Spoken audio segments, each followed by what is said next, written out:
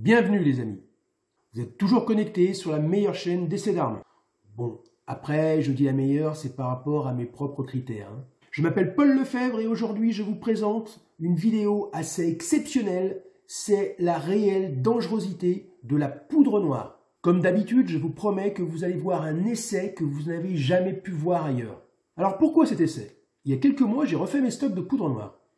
Et je me suis rendu compte que c'était maintenant devenu extrêmement difficile de s'en procurer, contrairement à il y a seulement 10 ans. Il y a très peu d'armuriers qui vendent de la poudre noire, et pourtant on trouve assez facilement de la poudre moderne, type BA10, pour le rechargement d'armes de poing qui est en catégorie B. Alors qu'il y a énormément plus d'utilisateurs de revolvers à poudre noire que de licenciés qui possèdent des catégories B. Je ne connais pas les proportions exactes, mais ça ne va pas être très loin d'un utilisateur de poudre en catégorie B pour 1000 utilisateurs de poudre noire. Sachant la facilité pour se procurer des revolvers à poudre noire par rapport au chemin du combattant pour obtenir une arme moderne de poing de catégorie B. Pourtant, un armurier sur 5 propose de la poudre moderne, donc il est très facile de s'en procurer avec les détentions adéquates, et il y a peut-être moins d'un armurier sur 100 qui propose de la poudre noire. Pourquoi?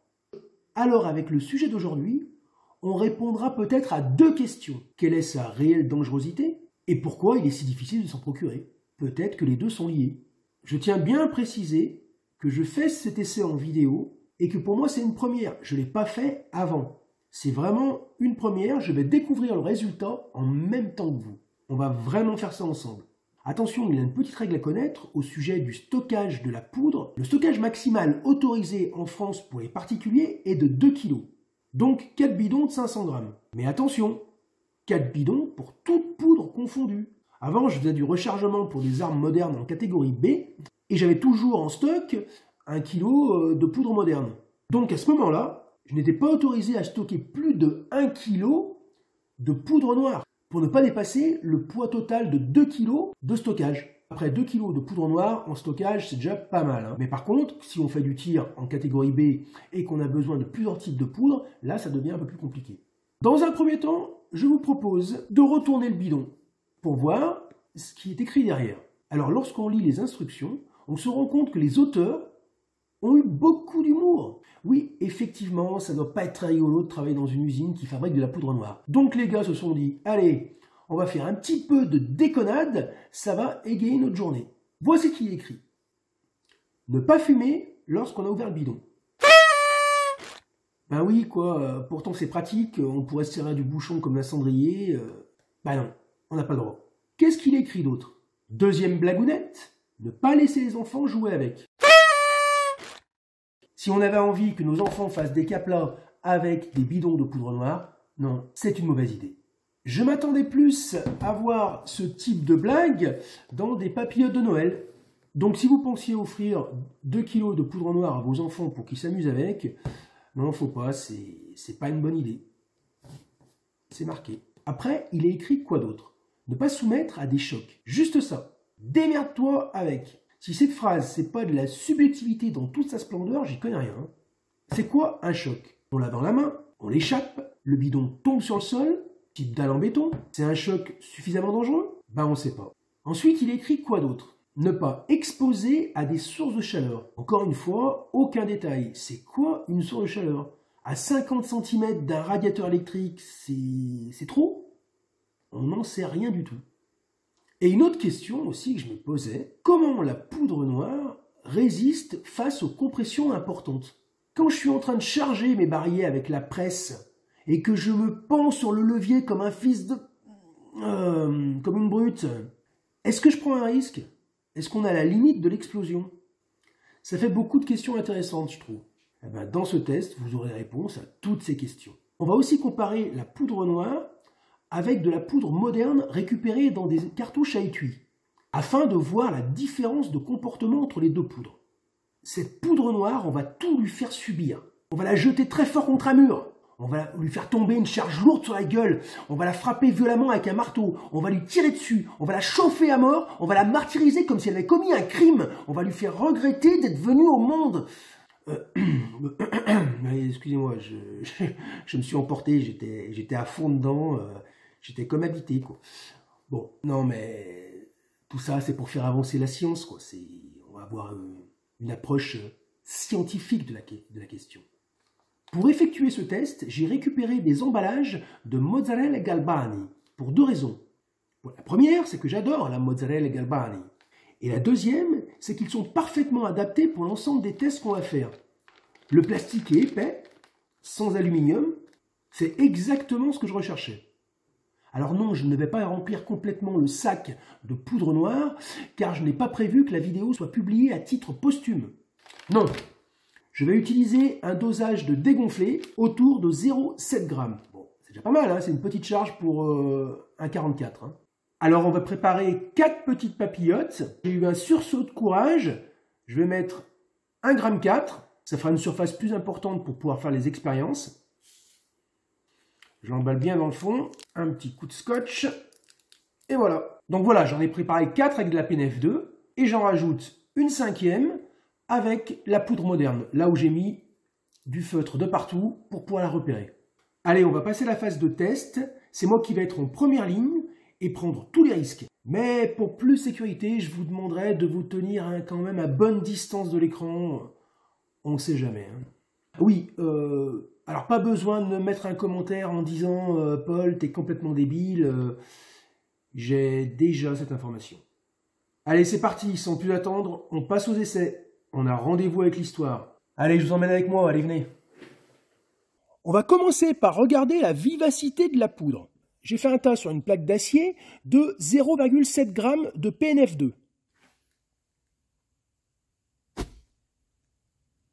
Ça fait un flash. Hein. Je fais exactement la même chose avec de la poudre moderne.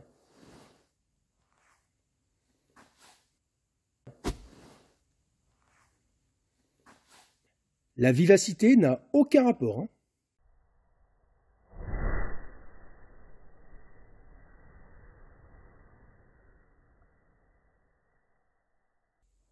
On va monter graduellement, on va commencer par la jeter au sol, aussi fort que possible. On commence par la poudre noire. Je l'ai jetée aussi violemment que possible. Hein. Je vais recommencer.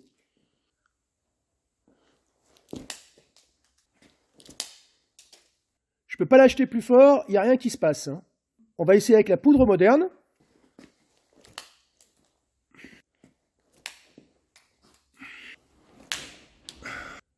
Pareil, rien ne se passe avec les poudres modernes au choc en la lançant fort euh, à la main. Hein. Rien ne s'est passé dans ce premier test. On va passer à un test un petit peu plus violent. Donc deuxième test, je vais lui faire tomber un bois à peu près de, de 5-6 kg sur la tronche. On commence par la poudre noire.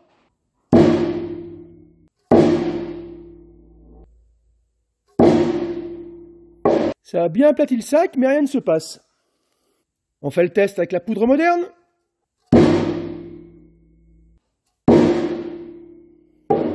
Pareil, rien ne se passe.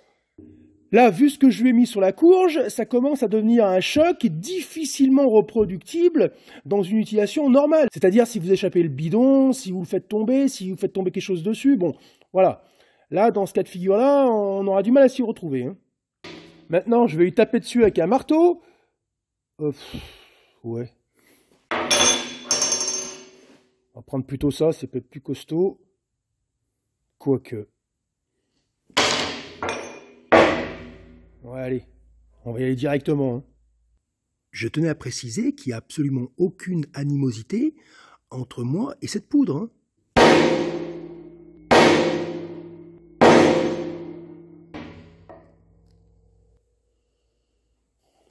Ah non, la, la poudre ne brûle pas du tout. Hein. Elle supporte, mais parfaitement les chocs. Hein.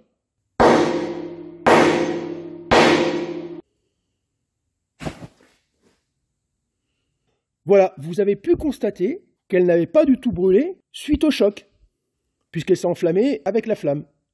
Quelque part, je vous dirais que c'est une très très bonne nouvelle, hein, parce que bon, ça m'inquiétait un petit peu cette histoire de choc. Hein. On va quand même essayer les chocs très violents avec la masse, avec la poudre moderne, pour voir s'il y a une petite différence.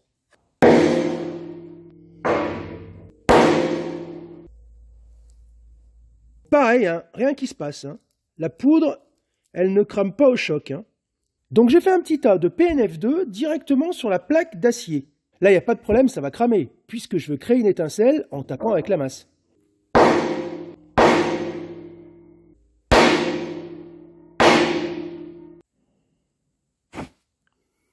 Eh ben même pas.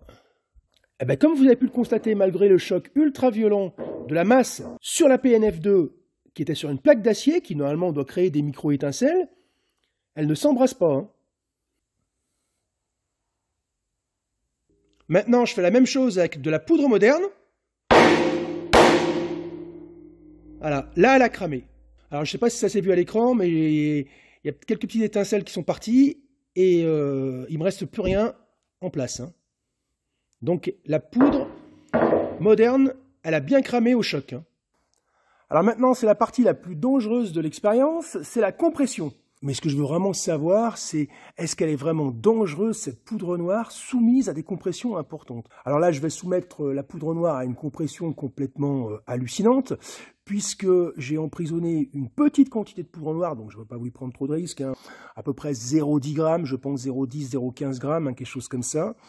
Et avec un étau, je vais forcer autant que je peux pour essayer de la comprimer à un point inouï. J'espère que le résultat sera pas d'explosion pour éviter les dangers déjà, bien que je très très bien me protéger, hein. mais euh, aussi pour me rassurer quand je sertis euh, les plombs avec ma grosse presse. Hein. On va voir ça, c'est parti.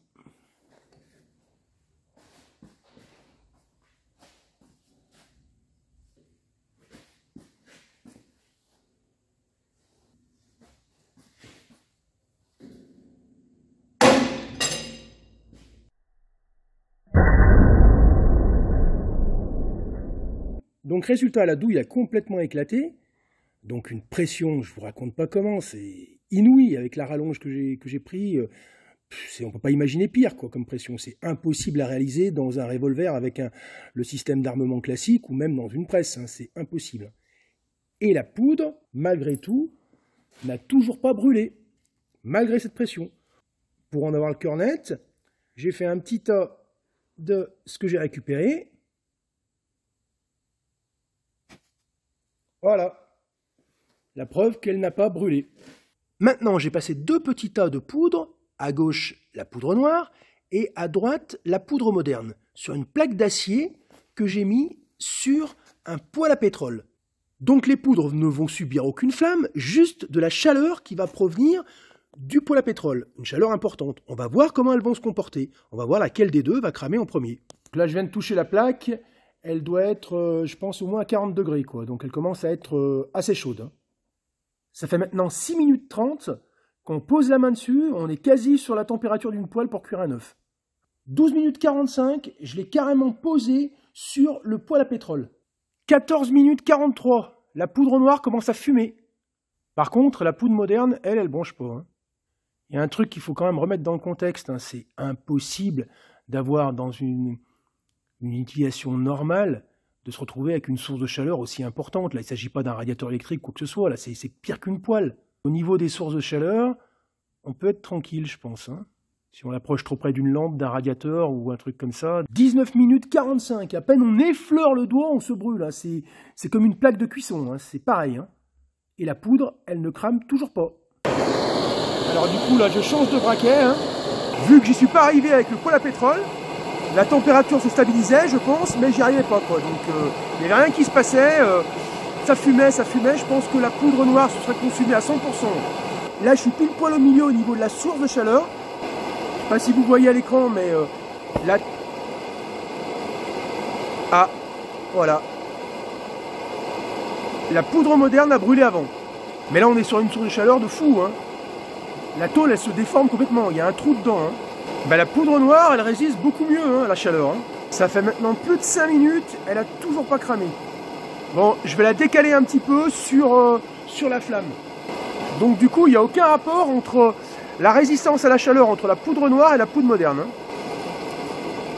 Là, pour que ça aille plus vite, je l'ai carrément mis sous la flamme. Ça fait presque une minute que je l'ai déplacée et elle a toujours pas cramé. Voilà, 6 minutes 30. Donc la poudre moderne, ça a été la première à brûler. Elle a brûlé au bout de 1 minute 50 et la PNF2, elle a brûlé au bout de 6 minutes 30. Mais attention, je l'ai déplacée pile poil en dessous de la flamme pour pouvoir la faire brûler. Donc du coup, ce serait bien supérieur à 6 minutes 30. Hein.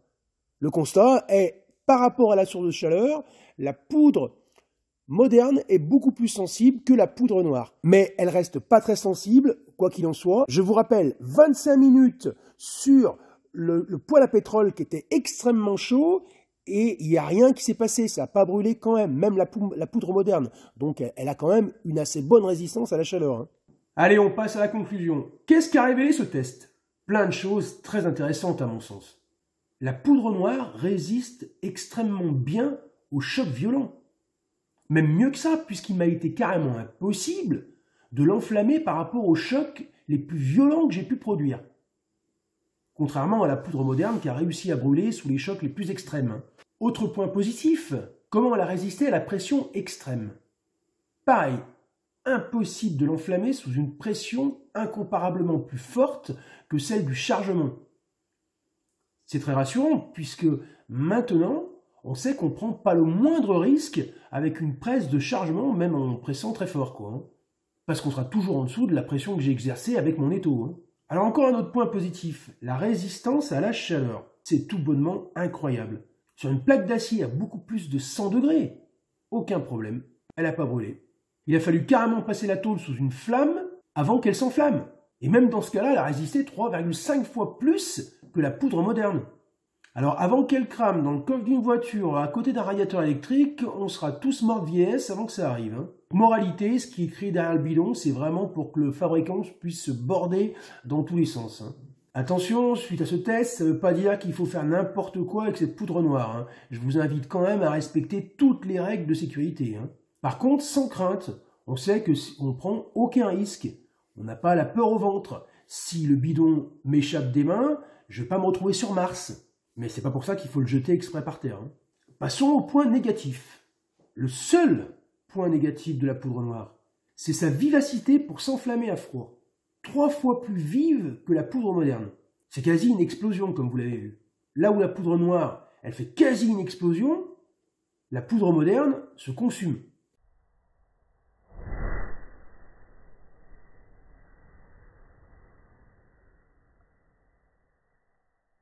D'ailleurs, petite remarque, vous avez vu que lorsque la poudre moderne est montée en température, sa vivacité est quasi pareille que la poudre noire.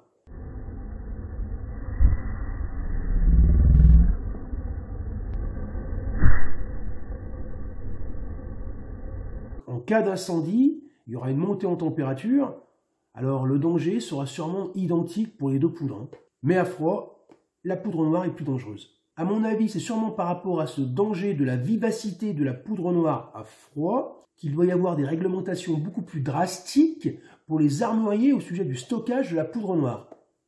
C'est sûrement pour cette raison que même s'ils ont 100 fois plus de demandes en poudre noire qu'en poudre moderne, ils ne veulent pas en vendre. Quoi. Je vais mettre dans le descriptif tous les liens, tout ce que je possède comme information pour acheter cette poudre noire. Hein. Je vous le dis tout de suite, hein, par correspondance, sans permis de chasse ou sans licence, je connais aucun lien. Si vous, vous avez des infos, n'hésitez pas à les mettre dans les commentaires. Bon, j'espère que cette vidéo vous a plu. Moi, ça m'a éclaté de le faire. Hein. J'ai trouvé ça super intéressant. Il y avait tellement longtemps que je voulais avoir toutes ces réponses à toutes ces questions. Suite à ces essais, on a appris quand même beaucoup de choses et j'ai trouvé ça vraiment très intéressant. Je vous remercie d'avoir suivi cette vidéo. Merci pour ceux qui like, merci pour ceux qui s'abonnent. Et quant à moi, je vous dis à très très bientôt pour plein d'autres vidéos. Salut